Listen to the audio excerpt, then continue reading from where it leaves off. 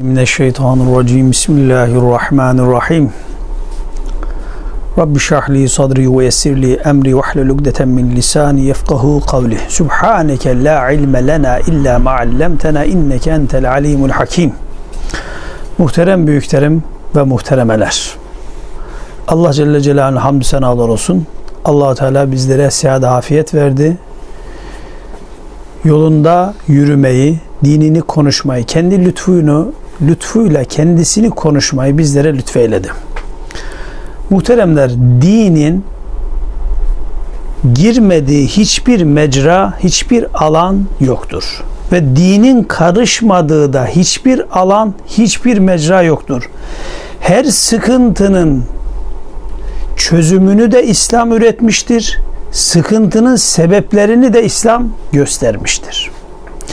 Şu anda bütün belki dünyada, şu an Türkiye'de özellikle bir ekonomi, bir krizin, bir e, dövizün, bir altının, bir dalgalanmasıyla ülkedeki insanların her birinin farklı farklı hallere ve ahvallere girdiğini görüyoruz ve duyuyoruz.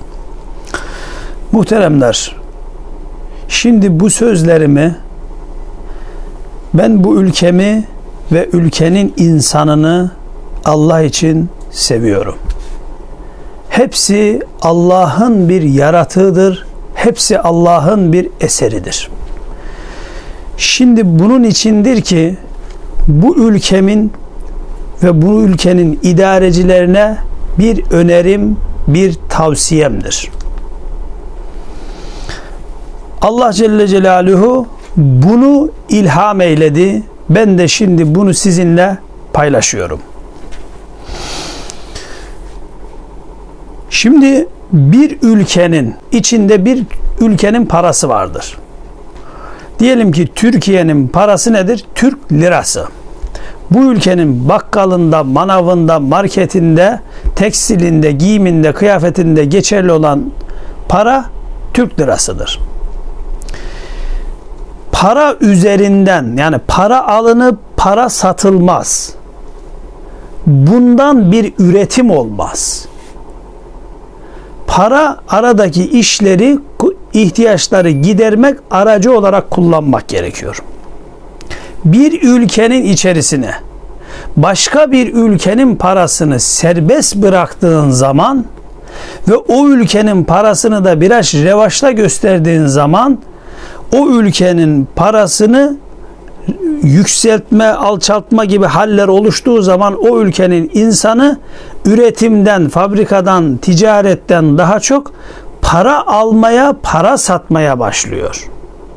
O zaman ülkenin verimi olmadığı gibi üretimi de olmuyor. Peki çaresi ne? Ben bu ülkenin değerli büyüklerine Şimdi bunu öneriyorum.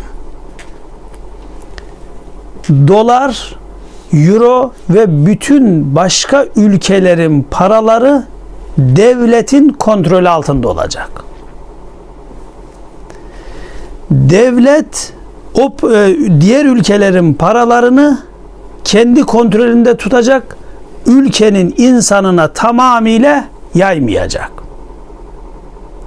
Şimdi öyle bir durum hasıl oluyor ki bugün marketteki markete neredeyse ekmek almaya giden bile döviz bozduracak. Kirasını ödemek isteyen döviz bozduruyor.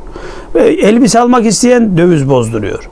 Bizim ana paramız dolar değil ki ana parası Türk, e, Türk lirasıdır. Şimdi herkes paradan para kazanmaya başladığı için paradan para kazanmaya başladığı için paraya revaç oldu. Yabancı paraya, dövize e, revaç arttı. Artınca ortadan çekildi. Değeri yükseldi.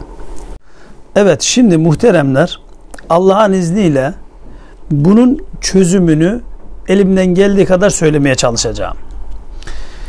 Türkiye'de 250 milyar dolar var deniyor.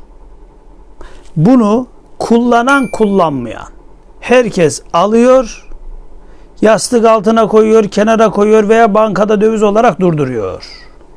Şimdi bu parayı işlem görmeyenler, bu parayı almadığı zaman dolar ortada kalacak. Ortada kalınca dolar fazla olacak. Fazla olan bir şeyin de değeri düşecek. Ve böylece böylece sadece diyelim ki ticaret yapanlar, yurt dışıyla e, ihracat yapanlar, ithalat yapanlar, dolarla e, veyahut da euro ile işi olanlar veyahut da altınla işi olanlar bunlar ihtiyaç kadarını gelip devletten alacak. Faturasını gösterecek, ona göre devletten alacak ve bu devletten aldığında karşı tarafa ödeyecek. Dolar devletin kontrolü altında olacak. Doları halka yaydığımız zaman herkes aldığı zaman bu kıymetleniyor. Herkes almadığı zaman dolar diye bir kıskaç bir, e, bir ülkede kalmayacak. Bir kağıtla bir ülkenin kaderi çizilir mi ya? Bir ülkenin kaderini bir dolara bağlanır mı ya?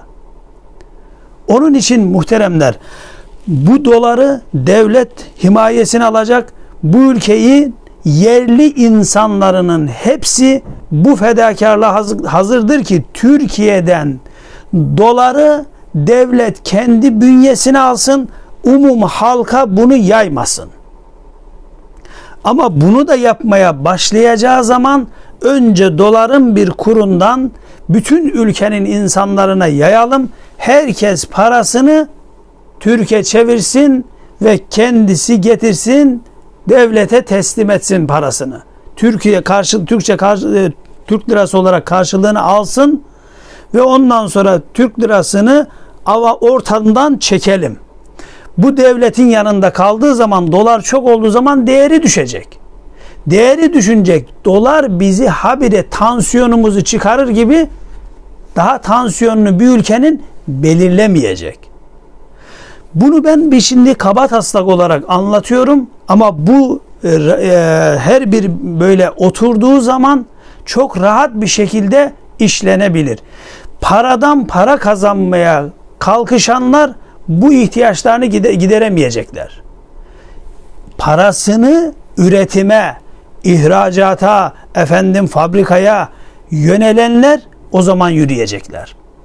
Haliyle bu bütün ülkeler içinde aynıdır. Yani bir diğer ülkenin parasını kendi ülkesinin içinde başıboş dolaştırmaması lazım. Herkes her zaman istediği zaman dolar, efendim euro veyahut da dinar alması gerekmiyor.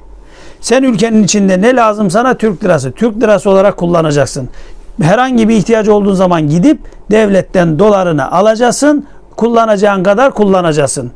Yurt dışından gelenler için de ayrı bir tarife, yurt dışından gelenler ihtiyacı kadarını devlette bozduracak ama için kendindeki doları ülkenin içinde yaymayacak. Bunu bu kısa videoda bu kısa olarak anlatıyorum. Bunun daha tafsilatlı olarak şeklini yani çizilmiş işlem gören şeklini ortama dökebiliriz. Bunun için en başta biz ve bütün bu ülkenin yerli insanlarının hepsi bu fedakarlığı yapmaya hazır olduğuna inanıyorum. Ama İtaller bu sözüme karşı çıkabilirler. İthal beyinler, ithal insanlar veyahut da ülkeyi karıştırmak isteyen insanlar bu sözüme karşı çıkabilirler. Ama ülkenin içinden doları çekmeden doların tansiyonunu düşüremeyeceksin. Hatta böyle yapıldığı zaman bir müddet sonra dolar 1 lira 1 liralık 1 dolar 1 liradan da aşağı düşecek. Dolar hiçbir zaman Türk liradan değerli olmamıştı. Haliyle dolar 1 liradan da aşağı düşecek. Bunu uygulayalım, bakalım, görelim ve ondan sonra bakacağız ki dolar TL'nin bile altına düşecek. Dünyanın belki de en borçlu ülkesi en kıymetli parası. Olur mu böyle bir şey ya? Ama ortada bir para var. Bu paraya herkes saldırıyor. Değerlidir, değerlidir diye bunu tavan yaptırıyoruz. Muhteremler bu hususu iyi anlamamız için bir kıssa söyleyeyim. Zatın birisinin bir tane merkebi var. Merkebe diyor ki bunu satayım. Kaç lira? 200 lira. Satıyor. Karşı alan adam da diyor ki hiç itiraz etmeden hemen diyor tamam 200 lirayı vereyim. Diyor ki Ula diyor bu hiç itiraz etmedi. Bunda, bunda bir hikmet var herhalde. Bu eşekte bir şey var diyor. Diyor ona ki bunu bana satar mısın tekrar? Kaç lira? 400 lira. Tamam. Verdi hemen geri aldım. Satan adam dedi ki ula bunda bir şey vardı. Herhalde bu bunu hiç itiraz etmeden geri aldı benden. Dedi ki bu eşeği bana satar mısın? Satarım.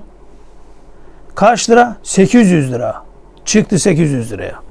Ya tekrar derken bu pazara çıktı. Pazarda açık arttırıma çıktı. Eşeğin fiyatı 2000 lira oldu. Ya birisi geldi dedi ki ya ne satıyorsunuz dedi. Aslı astarı dedi bir eşektir dedi ya bunun fiyatı 200 en fazla 300 lira dedi. Sen oraya bakma dedi tabelaya bak dedi tabelaya. La tabelada ne var tabelaya baktım mı yüksek çıkıyor. Değerine baktım hiçbir şey yok ki neyse o. Şimdi ortaya bir dolar atmışlar. Doları üreten ülke kadar dünyada borçlu ülke yok. Ama doları parası kıymetli ülkelere esir almış. allah Teala anlayıp amel etmeyi nasip eylesin bize. Elhamdülillahi Rabbil Alemin.